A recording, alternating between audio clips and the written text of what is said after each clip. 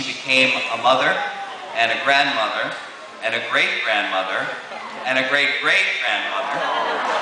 She is here from her home in Arizona, Ms. Margaret Pellegrini.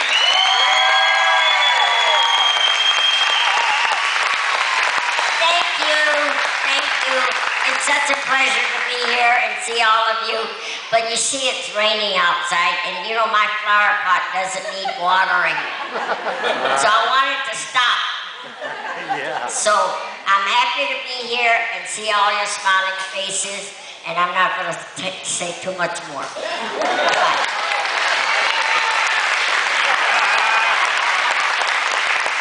Margaret Pellegrini. You, you may have noticed that there's one ringer on the stage. Not only was he not in the movie,